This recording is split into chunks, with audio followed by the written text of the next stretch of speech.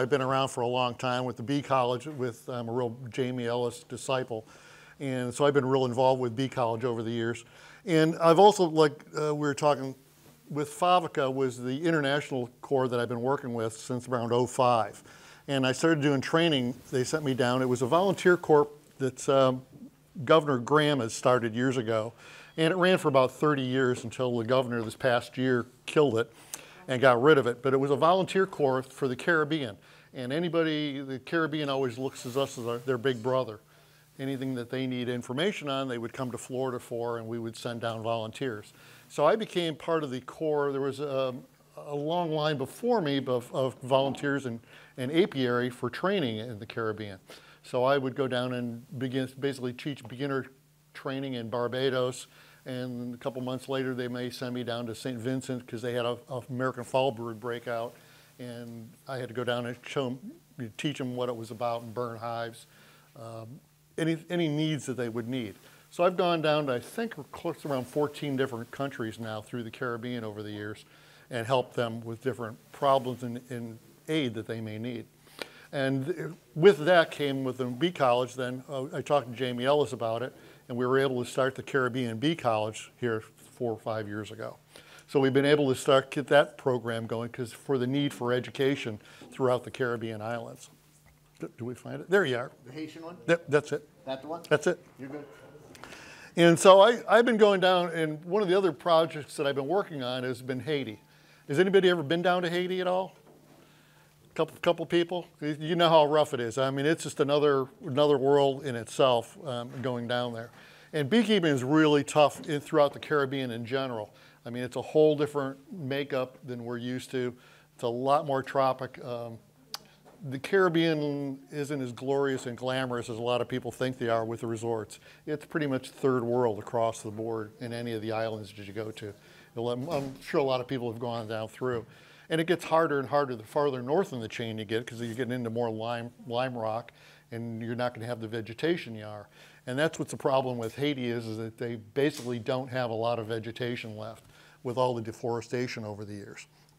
And the Bahamas are real hard to keep bees also because there's just not quite enough vegetation for them. Um, the line is somewhere around Antigua and the uh, British Virgin Islands, some of their St. Martin's. That's kind of just south of that is where the line draws. And you can pretty much get low from Antigua south, you start getting a little bit more vegetation. It gets a little bit easier to keep bees. And I like doing beekeeping because for sustainable development projects, and that's what I've been working on with uh, the Master Bee program has been rural development throughout the Caribbean. Um, anybody ever seen? Coconut. Bunch of holes in it. This is this is a this is a queen cage. This this is where the key. This is how you trap queens and you move queens around in the Caribbean. You use a coconut. So everything's ingenious. It's really kind of neat to see. So it's always that mother of invention that they're doing down there.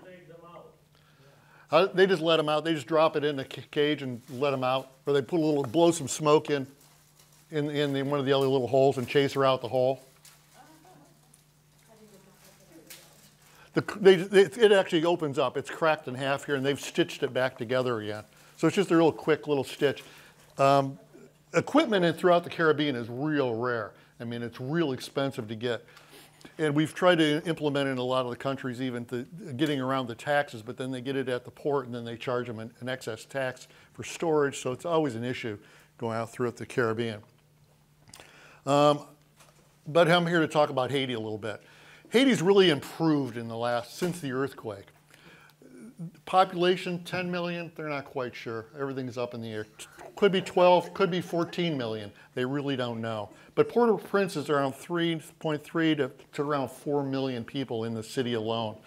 Um, when I started going down, this is a real big number. Since the earthquake, that number is, is $4 more. It was a dollar and a half when I was started. It was about 90 cents a, a, a day down when I started down there, and it's up there on 450 a day. Unemployment is still around uh, is around 80%. That's dropped a little bit. It was around 90. It still is basically that agro economy. It's 200 years old. they first formed their independence in, in 1804. They, they got their independence from France. So it's been an amazing struggle through the years. And they've just had problems with leadership all over the years. Typical third world country. Um, the UN has been down through there and they've had a lot of problems with the UN. It's, it's a bizarre group. It's like Nepal and Uruguay. It's just these, the, the communications between them. They were actually blamed for this big cholera outbreak a couple of years ago has been the, is the UN workers. And the, basically the UN do, does is they've got a couple major slum areas or cities in Port-au-Prince and they kind of patrol them and keep the people at bay and don't let them get out of control because they know that they're so, it's so bad. Uh, they're basically gang oriented. They've actually asked me to go down here next month, the next month or two to work in this city. And it's basically just gang controlled. It's about a 50,000 people city, but it's just, you don't, you have to pay to get in and out of them because they're just so, so bad. Um, they had this, the, the, major storms. I mean, the earthquakes and it was was kind of the, the, the biggest you know drop to the population there, and it really and it happened in Port-au-Prince itself. Uh, the country where I've been working is down in here in the mountain areas. This has been really uh, very remote. I mean, this is all this mountain range down here. We just had a project going on down on this island here. We're starting to do some beekeeping down there. Uh, the north has been getting most of the attention over the years here, Cape Haitian.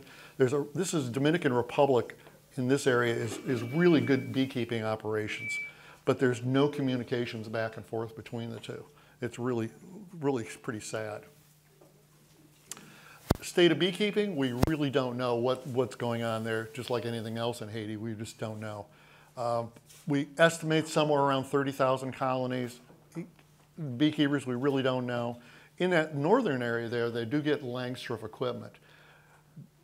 That's just with all the USAID that's been going in there over the years. In the southwest where I've been working, it's basically all bee gum log stuff. Production is all over the place. I mean, you can get about 15 pounds from the Langstroth equipment because it's not used properly, like we know how we use it. And the logs is harvested about once every year, year and a half. They'll get about five pounds out of a log. Um, I like to photograph bees wherever I go, and I usually bring back wings and leg samples back and send them off to the lab for testing. Um, David De Jong is the big geneticist in Brazil, so I send him the legs, and they're actually trying to work with programs to find out where the origin of bees came from. Is you can actually send in the hairs, the way they line up on the rear legs and the wing veins, you can actually start telling where they came from originally in Europe. So a lot of these bees we think are some of the original bees coming back, and that's been always been, been one of my key points is I believe that the Spanish actually brought a lot of these bees in. And you see a lot of these black bees down through the islands. There's a lot of that feral stock, that, like the Iberian bees. Are everybody familiar with Apis mellifera iberica? Our, our, bees are European bees, are the are Ligustica, but the, the uh, bees from the Spanish peninsula there in Portugal, that's all the black bees, are, are Iberica. Um, I always, um, my take is that I think Span the uh, Columbus brought the original bees into Hispaniola, which is Haiti and Dominican Republic, on his third voyage. He really beefed up Santo Domingo on his third voyage in 1498. He brought a lot of livestock on, and then he went down, kept going to, Port, to Trinidad, Tobago to, to discover that area but he really beefed up that area of livestock. And I think that's when they brought some of these original bees in. And a lot of the beekeepers that you see are still working in that same kind of traditions. They really don't know what's going on in beekeeping. Port-au-Prince.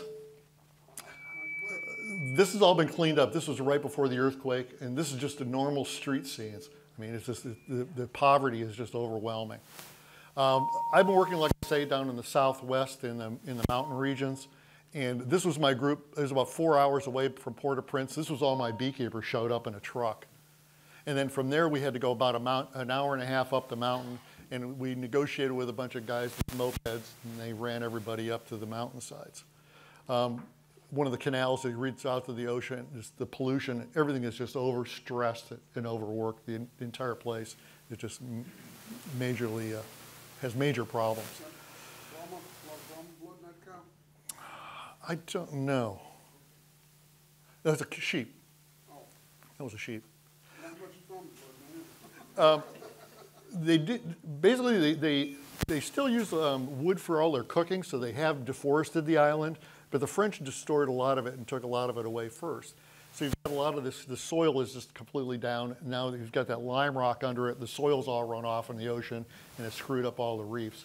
So there's hardly any soil, a little bit of topsoil left even to grow crops. And being a agroeconomy, it's really tough. But you do come across these massive trees every once in a while out there, and here was this giant swarm on this branch that was just massive. You can see by the size of the truck and people how high it is, it is up there.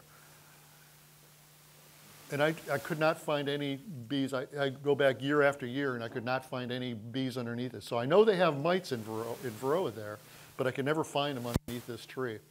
And about the last year I was there, this is actually gone. Somebody actually crawled up this thing, scaled underneath that, and cut it off.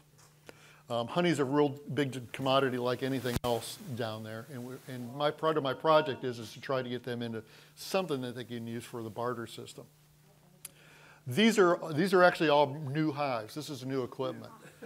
Wood is very valuable, and this is up in the north. Um, in the south, you wouldn't find anything like this. Um, they can't even build coffins down there. They, they literally would big, dig coffins up and, and reuse the wood. So they started making them out of pressed wood, out of pressed sawdust and that, and plastic. Is this is Langstroth. But as you can see, it, it's Langstroth at, at the, the, most primitive. And this is what a lot of the U.S. aid has gone into, is in aiding people down there in this equipment. This was their, the honey house in the background. It's just a woven little, little shack. Those boxes are what, about 20 frames? It's, no, they're, they're about, they're a little bit longer than, than ours, but not much. I mean, they just, they have no clue as to what, how to do it properly.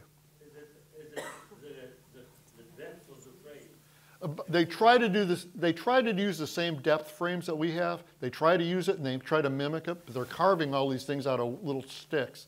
So the time effort is really hard. And then when you get into, when you start getting into the extraction, you start getting into these old bicycle spokes and old drums. So a lot of this, the frames get broken. And then we know what happens after they start breaking the frames. The frames are all busted up. They're all that nice wax on them. They start using them for kindling to start their fires to eat with and then all of a sudden the bees are just building off all the comb off the top of the lids. So that becomes a real problem across the board. This is one of my favorite shots. Mother, mother of invention again. They, it's a shoebox. It's just taking a shoebox, punch a couple holes in it, and you put that over your face. That's beekeeping. They, they don't they don't haven't had the uh, problem with Bees, the beetles have been found in Dominican Republic. They have not been found in, in Haiti yet that I know of. It's, it's, possible in that northeast, up in this area, but I'm not sure. I know they have Varroa. Because of the old, because of the boxes? The boxes and just the, you know, it, it is there. But now, in typical, like um, in, in Cuba, I mean, they have Varroa, but the survival stock has kind of survived through it and gotten through it. I mean, even with our technology today, there's been a lot of controversy over should we have ever treated for Varroa 20 years ago. If we wouldn't have, we would have had that major drop, and now the survival stock that would have come back may have been stronger and not had to deal with the chemicals and everything. So we're not quite sure. Do they have a lot of Africanized bees?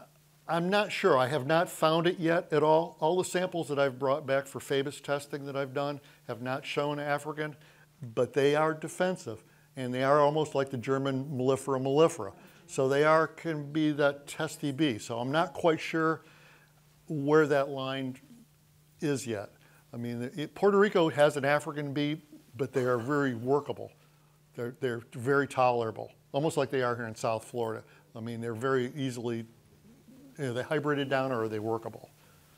Aren't they finding that the German bees are more, uh, uh, are, are stronger and are less susceptible to certain diseases? Um, diseases are that's kind of up in the air yet. I mean, they're they're they're. They're finding certain things that They're, yeah, it's, it's, uh, every race of bees has a little bit different qualities, you know, you, but at the same time, you might not get a honey production or a, an early startup or, you know, so it's, it's like, it's, it's one, one or one or the other.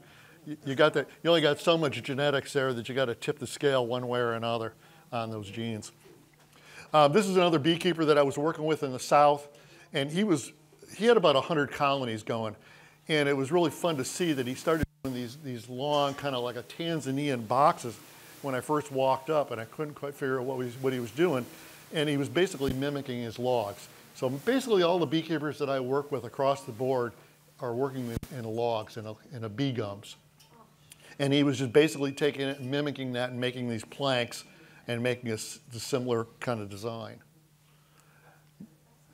Uh, he had just started doing a, a few Langstroth, and he was just excited as could be that he was started in Langstroth equipment. He was able to afford. Um, this gentleman in particular, he had a, he'd made about a drum of honey, and he was able to sell it in Port-au-Prince to a company that was making these little snack bars, almost like a little energy bar, and they would just mix it in with little nuts, and basically they were sesame, little sesame and honey bars. And he made so much money from this that he, the entire city now became bee-oriented. And there was like 50 people showed up, and they all he had 55 beekeepers that registered that they wanted to all do bees. So I could really see these little micro economies growing in certain little niche areas, and it was all due to this one guy. But basically, like I say, this log was about three feet in diameter, a big piece of slate, and this is a piece of tin. Bees, um, I've been real fascinated with, with how they actually orient in them. And I'm finding out it's about 50-50 as far as how they put the comb in. Um, some run lengthwise, others go horizontal. So you're never quite sure why or what, but it is about 50-50. They actually do have some studies on that. Um, this is this is the, the best movable frame. This one is actually they just kind of tied it together with some raffia, some uh, palm fronds.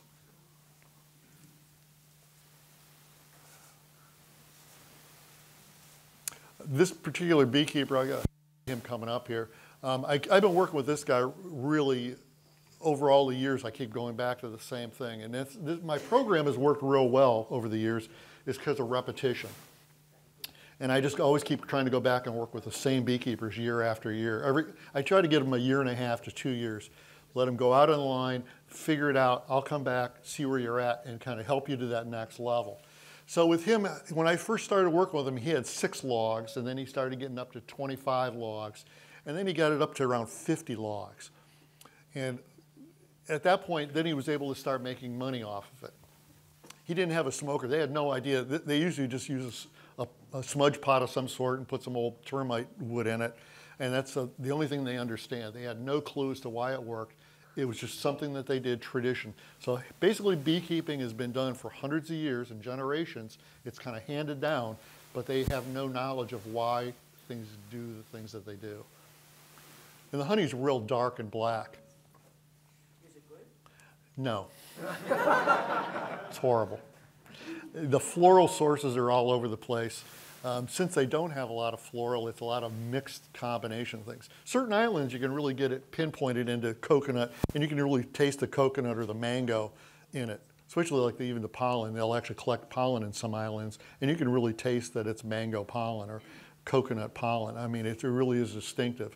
Here, you're getting a little bit of anything and everything because they don't have a, a floral source in general. Um, a lot of coralita, maybe familiar with coralita, um, chain of hearts. Uh, no, um, they get palmetto, but not a lot of it. But it mixes in because they don't harvest often enough. So by the time they get in there with their smoker, with that smoke, so you're getting a lot of soot and ash mixed in with it. Because they're basically just taking a machete, cutting that out, and crushing it. And they, just- they barely run it through a piece of cloth or anything. Making honey out of this? Candy?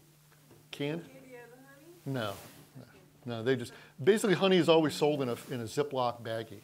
Because jars and anything, anything else outside of a water bottle is way too valuable. You don't even find rum bottles in Haiti. I mean, that's just way too expensive of a commodity for them. So basically you see Ziploc baggies and that's how it's usually sold or some old juice container or some, some old plastic bottle. So then how can he make uh, that good of a profit if the honey isn't tasting good? I mean, They don't know any different. I mean, it's, you gotta remember, their, their, their mentality is, you'll, you'll, it's, it's still a sugar product. And it's, sugar is a valuable commodity and everybody wants sugar and they want their local honey. Cause it's, it's also medicinal at the same time. that must taste wonderful. So I, I should have brought, I should have brought some with me. I, you wouldn't have wanted to taste it. I mean, it's just, it's just this black, it's black and. The mic up? It, it's, it's just a real black honey. It's just, it's nasty. It's just something that you don't want to put in your mouth. But now, this is Mr. Sonor, and Mr. Sonor now has, um, he's really got it up to around 75 of these logs, and he's starting to make money, and he started going to college on it. So all of a sudden now with that 75 hives, he was actually able to afford a moped. He's able to go into the city and start college. So he's in agronomy school. He got into his second year, he was a second year agronomy student. He's got it up to now, and uh, we started then with the program I started working with was I started we doing top bar hives. The logs are just not sustainable. I'm not going to discourage it because it's a traditional method of keeping bees. I don't discourage that at all, but I want to encourage getting into top bar just due to the fact that I know that beetles are in Dominican Republic. If they get into these hives, I can't imagine what they would do in a log. It's just a nightmare. And I want them to be able to start getting a little bit more production. So I came up with some, uh, some plywood boxes. You'll see some coming up here. And, we, and he's actually started just doing a few little Langstroth boxes to experiment with, with his money. But he's um, really got a, a really good thing going. So he's become a model for this whole region up in the mountains. And up there we, we use a, an old church, not an old church, a church. And it was, uh, it's really kind of fun to see all these little white dots all through the pictures you know, these, the holes in the tin roofs because they, it's, it's beautiful. Um, but we, I always had to have, uh, so I had an agronomist come in also. So I have to have an interpreter, but then I also have to have an interpreter's interpreter because now we're into a pidgin language that it's, so it's basically hillbilly Creole. That, and so I have to have somebody else explain, and my interpreter explains what I want. Now he's got to explain to the, to, to the local dialects. So it's a real long and laborious procedure that goes on.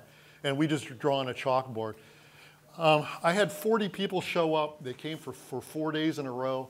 The longest one guy came in. I don't know if I got a photograph of him here. I, I don't. But we built these hives. I uh, was able to get some money from Rotary International, gave me $1,000. And I was able to go down with that money and buy plywood. And plywood is $80 a sheet. So 80 US a, a sheet for plywood. So with that, I was able, it's the only stable wood you can come up with because the planks of wood now that they have are all different dimensions. So you can't, and, and, and just as expensive or more expensive. So you can't come up with a dimensional wood outside of plywood. So we, by the time I spent, it was, you know, then $100 to have somebody drive the truck up the mountain with the plywood on it, yada, yada. But I was able to take that, that plywood sheet and make some little small top bar hives. And we were able to get four of them out of a sheet. So now I've got my cost down to $25.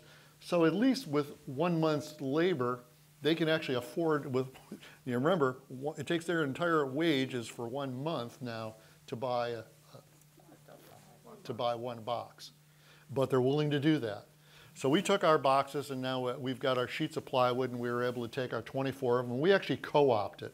And I took some smokers down with me. I went and um, I actually imported from China. I brought some smokers in and some, some veils. And I actually, so I translated it. Actually, I took the, the, the, blueprints and I was able to translate it all into Creole and then give everybody a sample. And we had to wait for a couple days because the one saw and the one hammer were tied up in somebody's house and he wasn't in town that day. So we had to wait for that, this old rusty saw. Now, this is three quarter inch plywood. Can you imagine cutting this three quarter ply? So this was a, so I laid the thing all out, and but everybody in that group that you saw around that table, everybody had to take the meter stick and remeasure. Nobody was allowed to cut till everybody in the group.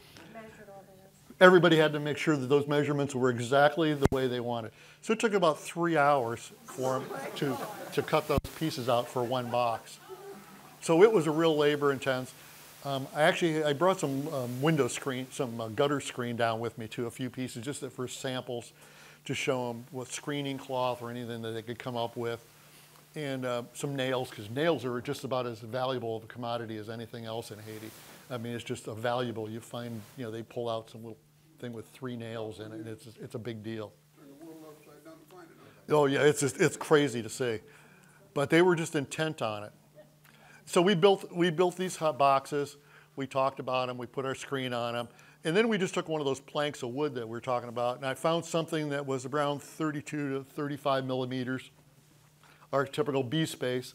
I found a plank that was about that thick, and we cut some strips, and then we cut the we took each one of them, we cut a groove down it. Actually, I even was able to find a little piece of cardboard, and we we waxed them all in, and we put some little starters in them to get them going. And I took down some little veils. I took down 10 veils with me.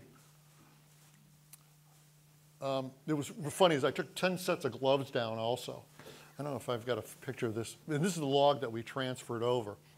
Um, this, is, this guy didn't have a smoker at all or even a smudge pot, so they just roll up a banana leaf and blow on it, and that's kind of how they get their, to, to turn their hives. So they handed, the, handed me this knife and said, okay, here you go. And there isn't manuals on how do you get transferring. You know, we're used to transferring stuff out of walls and things and seeing things normal, but sticking your arms in a log that you don't know who else is living in this log along with it is, is, is kind of a goofy scenario. But I was able to do it. We got it out transferring to a and then drop to a top bar hive. So as I pulled these chunks out, I, I, it was so big and so heavy, a lot of these things, I found some scrap fabric and I made some little hammocks out of it. And so we just, I just suspended them. I took my veil and I ripped some, some string off and started just kind of fudging it. I mean, there's, what else are you gonna do? As you see, so a lot of them are pretty much they they um, they they're bees, but not you know they they've always been trained like most of us, everybody to, to respect them. So they're not, not quite sure.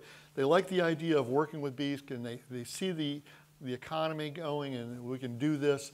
Um, I really like working with a lot of. I try to encourage a lot of women and youth to come in the the way the farms have been divided up in the land over the years is that they have farms, but they have farms in different locations. They may have three farms, but they're in different spots in the country.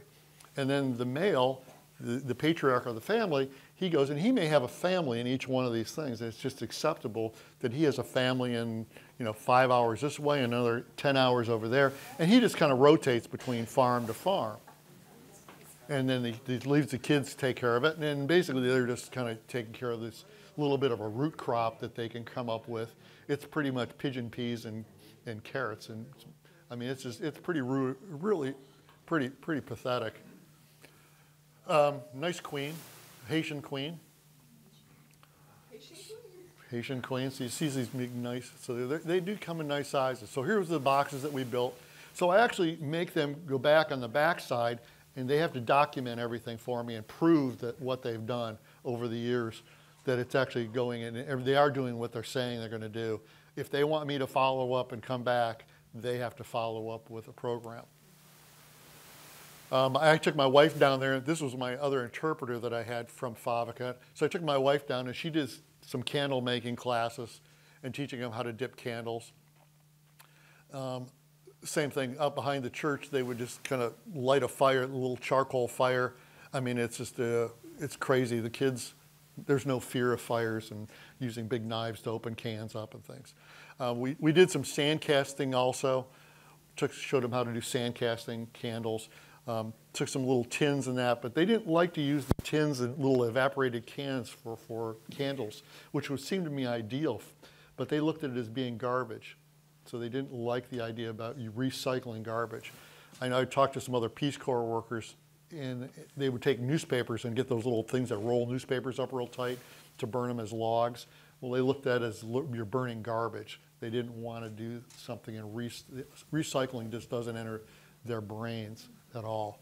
So it was really hard to get across, not to get it around the charcoal, or using the little the, the cans as a mold or or as a, as a final, you know, something to use for your candle.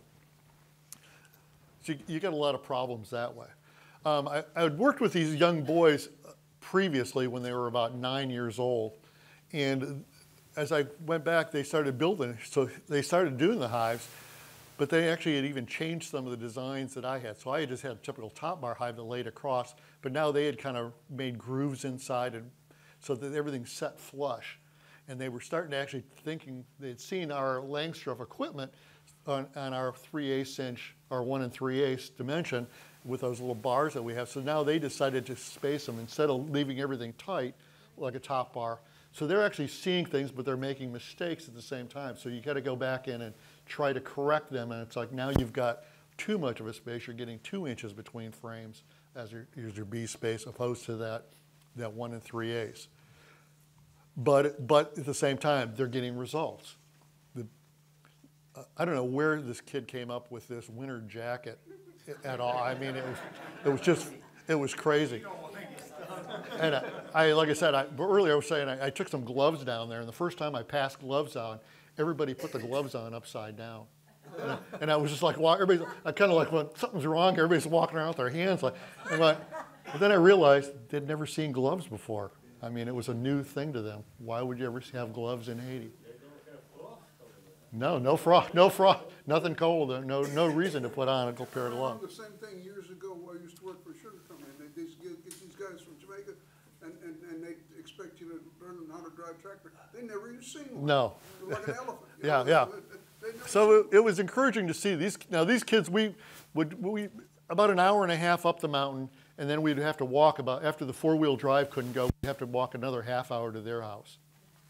So it's really, really remote locations and, and really tough.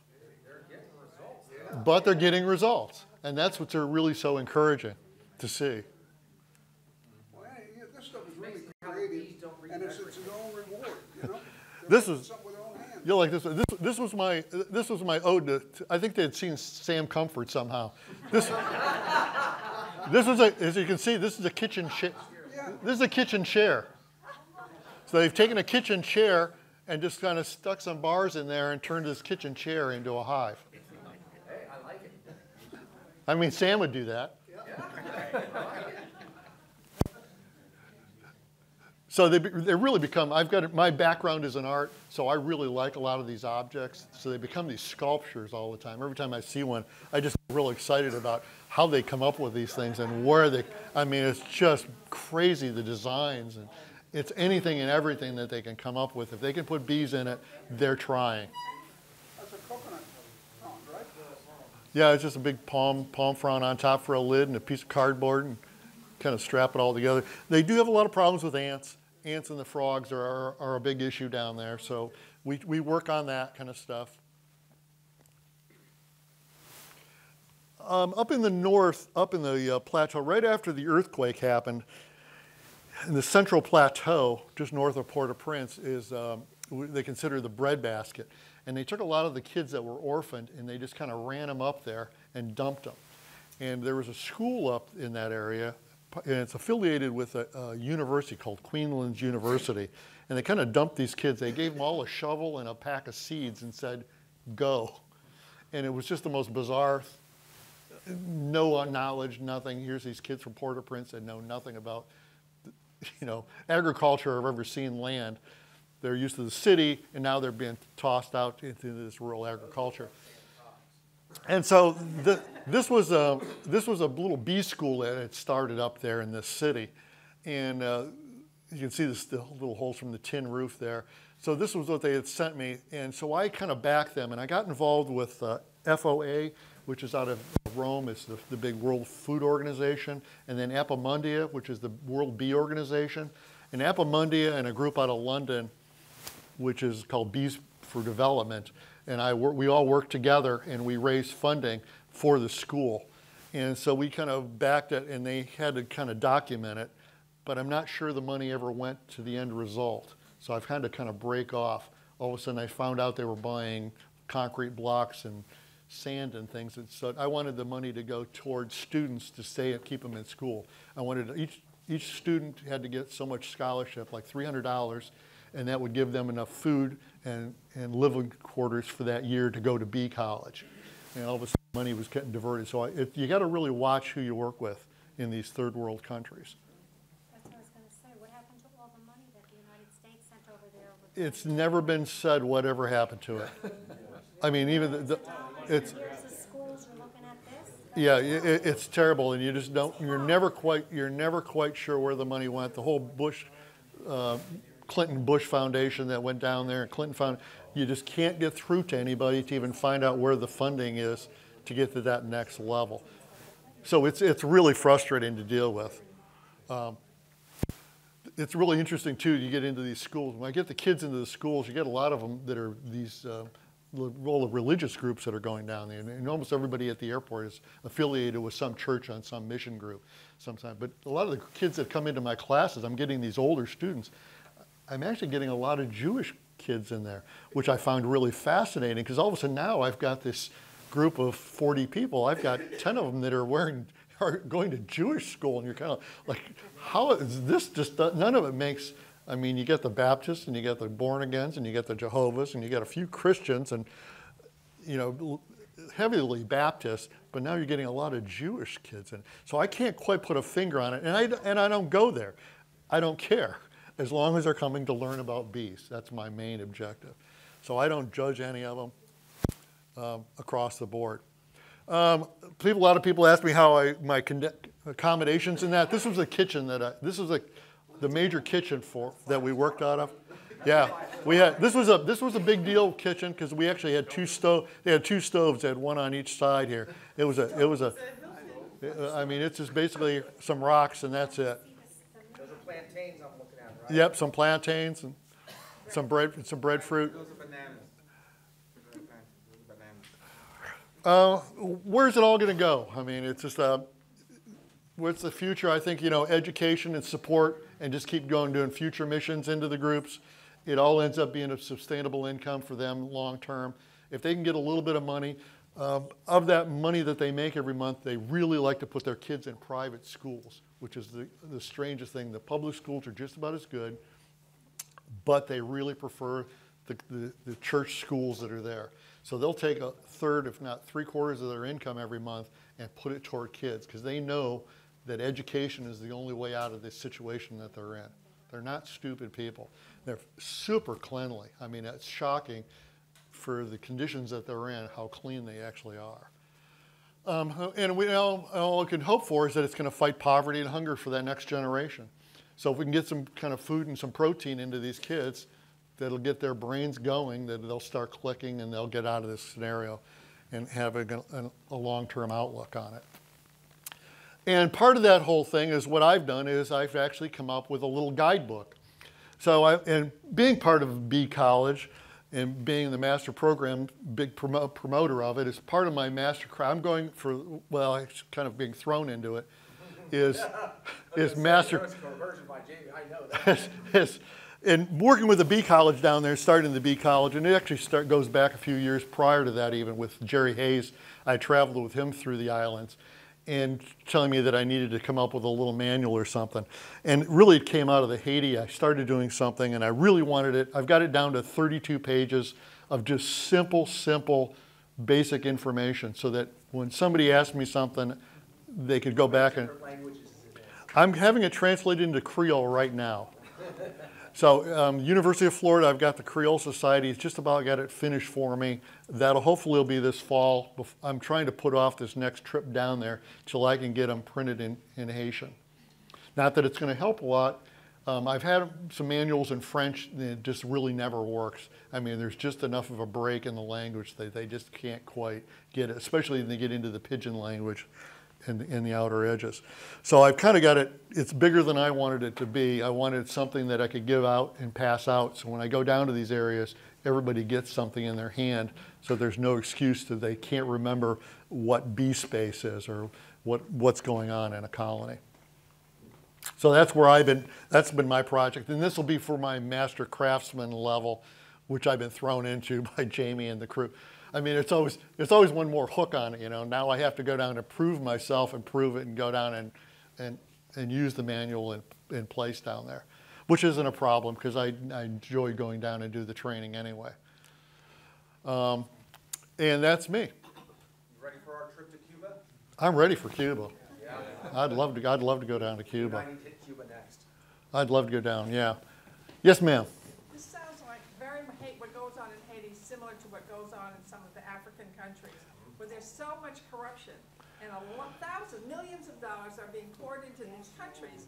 All the time. United States, because they want Kenya to be an ally of the United States, but there's no follow-up, so they pour a lot of money into the country. Um, Nobody knows where it goes, because there's no supervision, no Yeah, I- on the ground of where the money's gonna go. I, I hate to say it even this, right, right now, um, the group that has asked me to go down there is, is Partners in America, which is part of USAID, Partners in America, Farmer to Farmer is how the, the money goes. And they will only send me for two weeks minimum. They want you to go for three weeks. I'm going, I can't go talk to 10 people for two weeks about beekeeping. I don't need that much time. I need a week. Give me a week, give me five days, and I can explain it all and get in and get out. I'd rather have it divided into six months from now or a year from now, go back to that same group and repeat and repeat and repeat. Not to have two weeks of sitting there going, now, now what are we going to talk about? We've talked about everything in the, I can go through the manual and go through the practicals, but if they don't have bees, Somebody in the State Um, Department sits there and writes these regulations, but they don't ask the people in No. How do you want this? how do you want that money? So I'm trying to, I said I would go down if I could actually see the, my other group. If I could work with my other group, I'll go deal with this group in, in Port-au-Prince in this, it's the most dangerous, poorest dangerous city in Port-au-Prince. And that's where they want me to go and work. I'm, I'm more than willing to go in and help the people. I have no problem. But I also want to go in and visit these people to see how they're doing and what's going on there and what they need to get to that next level. Can I aid them? Questions? Beekeeping questions. Come on, any, come on.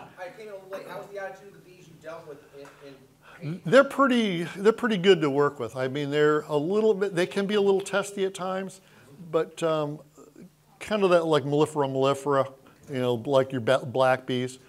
Um, I'm not sure though, like I say, if, if they are actually some of the Iberican. You didn't bring back samples for Jamie? I, I did, I did. I, usually I, have been sending this, like I said earlier, you, I guess you didn't hear me when I first came in. Um, I sent him to De Jong down in Brazil. I sent wings and legs down to him. I usually just snip off the wings and dehy- or the le- rear legs and then de- dehydrate them a little bit. And Are they working with any of the stingless bees over there? no, they don't have any that I have ever come across. There? Okay. I know have never-. Yeah, Costa Rica and uh, Tobago has them. Trinidad, they may be some in Trinidad, but they don't work them at all. They're, it's all Afri- Trinidad's all African. Uh, Tobago is 20 miles away, and it's European bees, but they have the stingless bees there, the, the Meliponas. You said that they're using the honey as a medicinal all the time. What sorts of things do they treat with it? Um, any, a lot of times the wounds and that, they'll use it for wound care a lot. And th- there's even some of the tr- uh, traditions that you mix a little bit of ginseng in with it or, or cinnamon in with it. It- It's like a spoonful of it every day. And they'll eat it, and it's just part of that. The- There's, um, I don't know what you'd say. It's like an anti-inflammatory. It's an anti-inflammatory. The the, room- the cinnamon and, and the honey at the same time.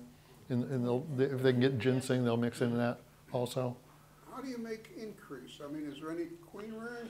I mean, No, there's no queen How rearing. in the world do you get them to? There's wild bees everywhere. I mean, there's wild bees on all these cliffs and that. There's so many rocky outcrops of that limestone throughout the islands that you can just you can grab a find handful them. of bees and stuff them in a- Yeah, they'll find these logs and they'll actually put them in the log and they don't let them out for three days. They'll pick those palm fr- lo- palm fronds on a log. They'll find that swarm, put them in there, trap them for three to four days, and then when they let when they open it. No, they don't have no clue. That's the one. The one wild hive I did find out in a little tree. The kids. It was a big problem with the kids. The kids were actually. We were trying to get the bees out, and the kids were trying to get the the, the all the uh, the brood to eat. So we actually had one guy grabs a stick and he's beating these kids because the kids were trying to. The kids are so anemic that they want the protein, so they're just grabbing egg. I'm thinking they're grabbing honey, and it's like they had no interest in the honey. They wanted the eggs. Do you find any colony collapse down there? No. Even here in Florida now, we haven't seen colony collapse for three years. So we don't really. Yeah, it's gonna be, yeah, it's gonna, it's gonna be interesting with this whole Zika thing. It, it, this whole Zika thing is a, is a really bizarre. I was actually diagnosed with it last February. I'm in St. Augustine and was, is, was medically diagnosed with it. When you went to the islands, did you have to get any shots for like malaria or anything like that? No, no. I usually get a, I have hepatitis. I've done some of that stuff prior. I had, I had to get yellow fever malaria shots when I went to Trinidad, Tobago, Barbados. Uh-huh. Maybe they keep foolish. Yeah, it's, I was diagnosed with it not, not being in the islands.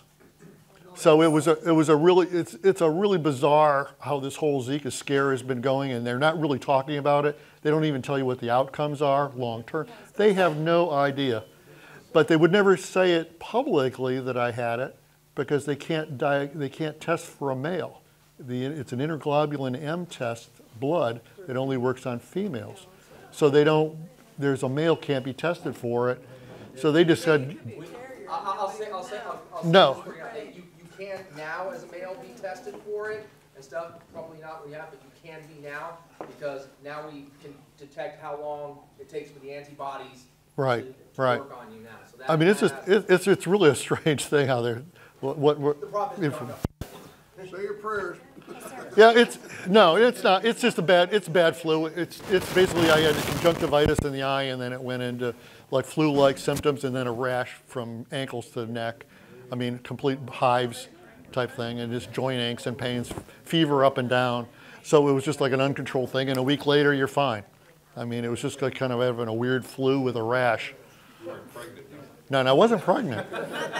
Or gay. Wait, wait back, Bo, wait back. I, I, I can't relate, because I don't even know if they asked a question about the Zika, I wanted to find out, and somebody shot me an email about spraying in Palm Beach Gardens, does anybody know?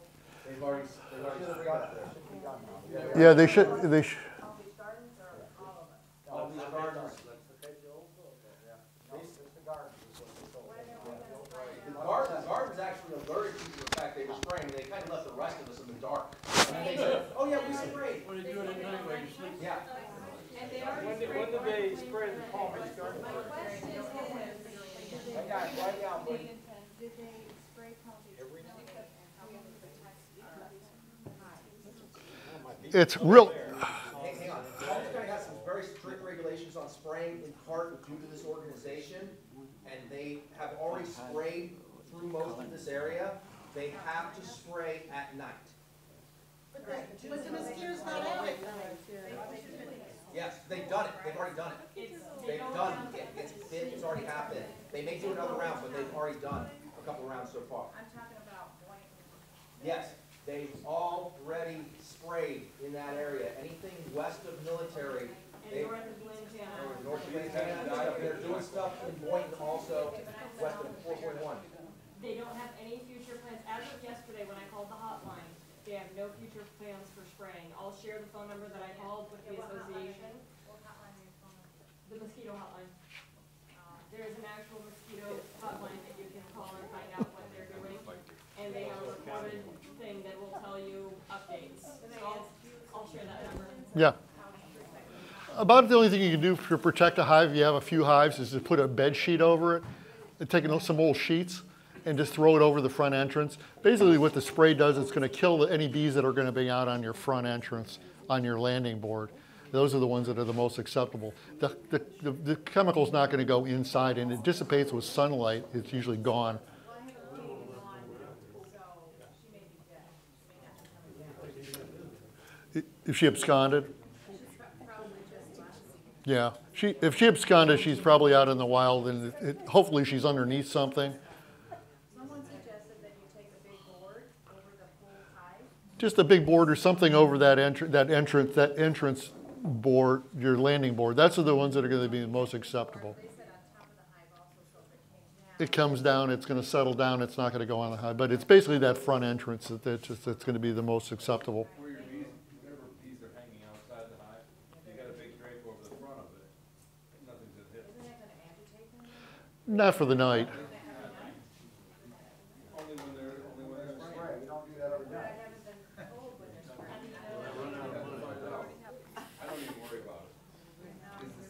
Yeah, it's just,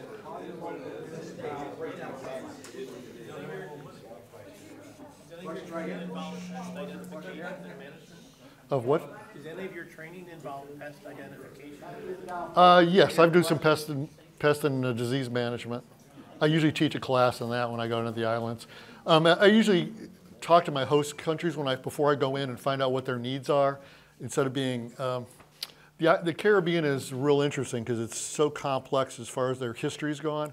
Because so many islands are, are still British ruled, but at the same time, they may be, Trinidad and Tobago, for example, you've got two different countries, two different constitutions under one republic, but it's still under the crown. So try to get something done. You know, so it's like, uh, who do I go to? And every, there's, you know, three quarters of the people there work for the government in some capacity. So you almost have to, and they're so used to the British coming in there and saying, now this is what you're going to learn today.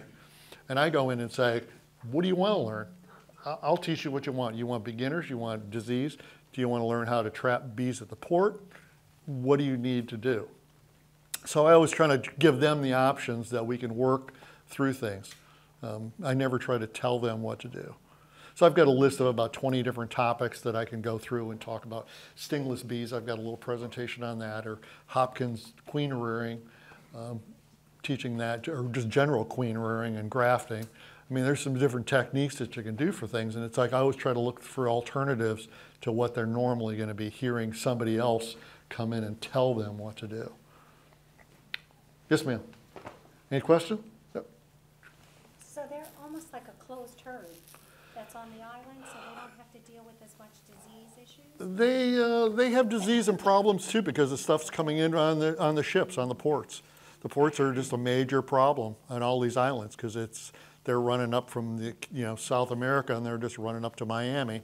And so these bees are coming off and jumping on, off these ports. You always find them on container ships. Uh, these are, are wild swarms. So some islands are really good about, you know, monitoring them. Other islands are clueless. They just don't care. I mean, I usually try to get to the agriculture, Minister of Agriculture, I usually try to have meetings with them to at least try to say, look, you know, you're getting your honey production up. People want local honey. You're not going to have to import it. Wouldn't you rather have beekeepers on the island and bring your own honey production up where you're eating local and eating your own and having, you know, jobs created? Or do you want to import stuff from China at a higher price? Even their, um, even, uh, candle making, uh, their comb is so dirty and dark. Sometimes it is, um, if, if, you- well, if we can get into the top bar hives, now we're cutting off and we're, we're teaching them, you know, how do you, exactly, or using it for your own, because they don't have electricity. Um, Haiti has about twenty-five percent of the people in Haiti have electricity, fifteen percent pay for it. So it's just like, and, it, and even in Port-au-Prince, it's a rolling cycle. You never know when you're going to have a blackout. Most of the city blacks out a lot during the night.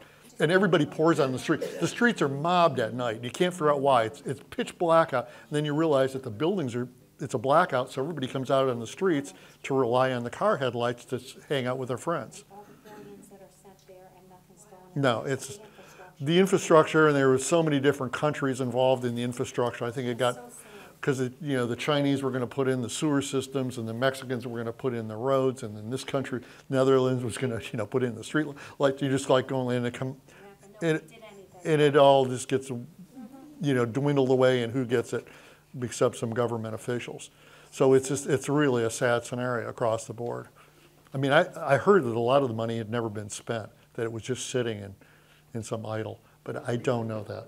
There's three billion dollars sitting idle because, uh, we told them, you get the three billion when you have a building code.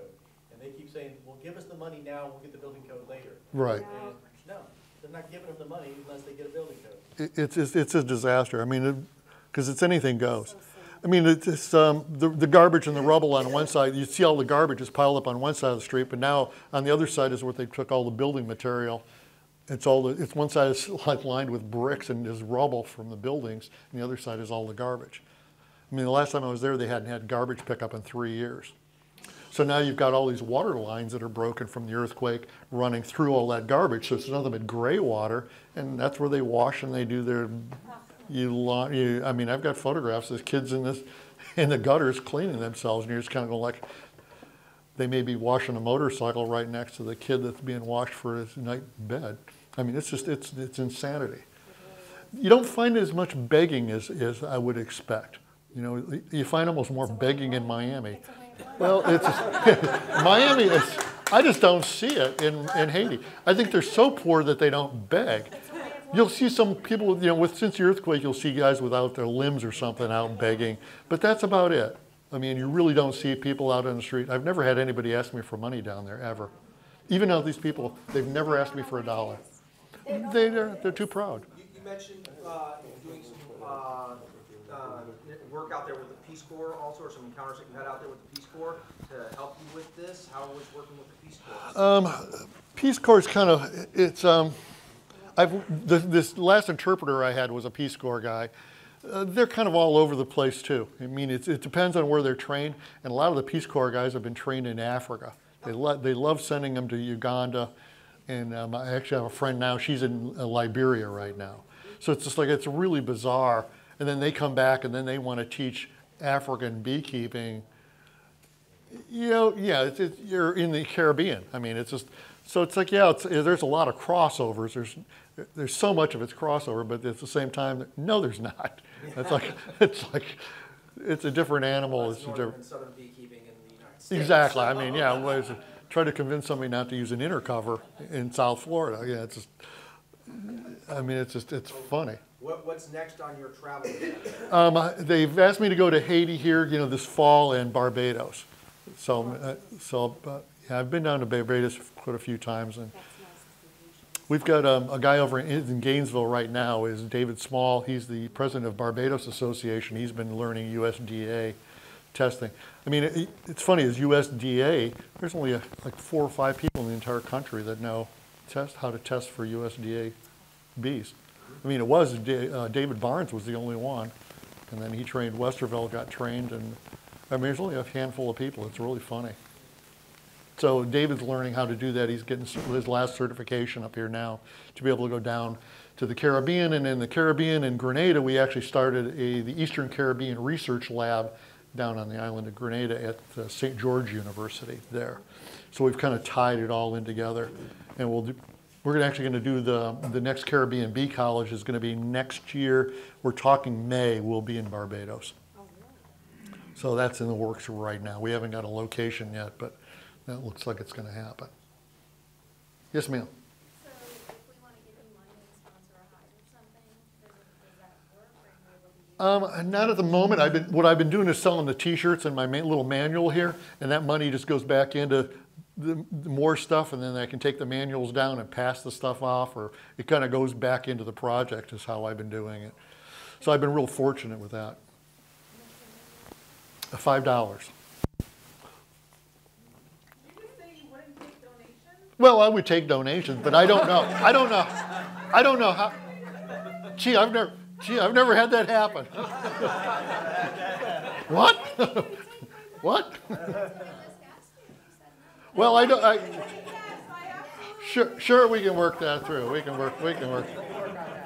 If I can interject here, Palm Beach County Beekeepers Association is giving a check to Bo for five hundred dollars. Woo! Hey!